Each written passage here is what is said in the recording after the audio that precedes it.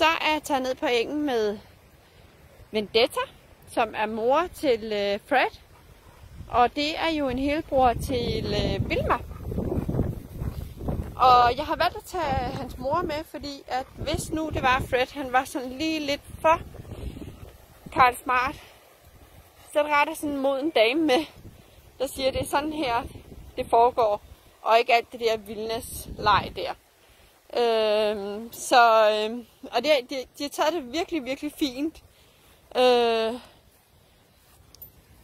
jeg kan ligesom godt mærke på Fred, at øh, han kender det hele hernede, og jeg har selvfølgelig haft ham før, hvor jeg har gået her mange gange med ham.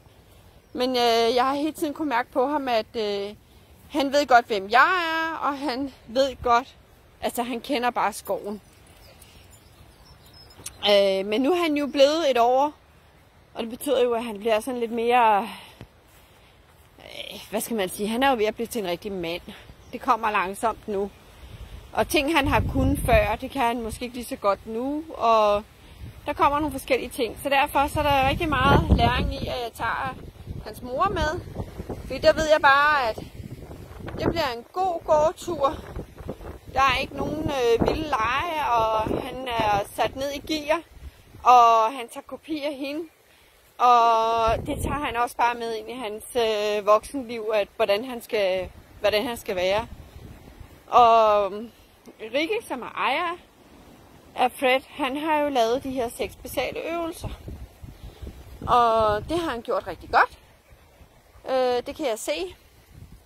Fordi at øh, hvis han gør noget, som jeg ikke synes er i orden, og jeg siger, nej, så er han god til at sige, nå okay, nej, det var ikke det, jeg skulle. Ja, den er god nok, du kan gå videre. Ja, det er, det er godt nok, Fred. Ja, ja. Øh, så ved han godt, hvad det betyder. Og, øh, og det er jo rigtig godt. Og så kan man sige, så er Rikke rigtig godt på vej med hans hund. Og jeg ved, at Rikke han har lige fået en øh, hund til.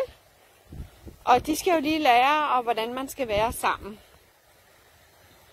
Fordi at det er jo ikke altid lige nemt med sådan en øh, lille valg med energier, og sådan en dreng her, som er fyldt med, med øh, testosteron lige i øjeblikket.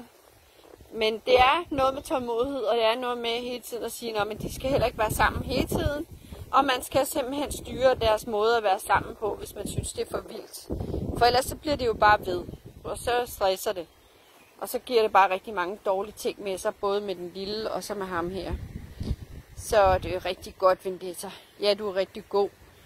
Så vi er nu lige, jeg har lige fået, og jeg er ude og gå sådan en tur. Det gør jeg med dem alle sammen. De skal lige have deres aftenstur. Og så inden vi går i seng, så skal de lige ud og tisse igen. Ja, og du kender godt det hele, ikke også, Fred? Det gør du. Du kender det hele, ja. Og hans mormor har kommet med ham i dag. Ja, det er rigtigt. Så han er med på det hele her. Så øhm, ja, vi tager et map herfra, og så jeg, jeg vil prøve at filme, når jeg, jeg går ud med nogle af de andre hunde, for I kan se, hvordan det foregår. Ikke skal det? Ja, det gør vi. Det gør vi. Så kan I have en god søndag aften derude.